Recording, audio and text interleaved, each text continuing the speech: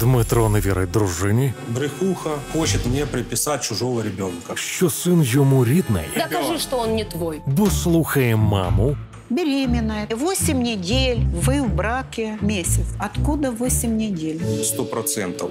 та Ніну Яківну. А вдруг это не мой сын? Давай к бабке сбегаю. Она мне сказала, ребенок не мой. Пророцтво бабки Судя в шокі. проти ДНК. Результат У вівторок о 22.45.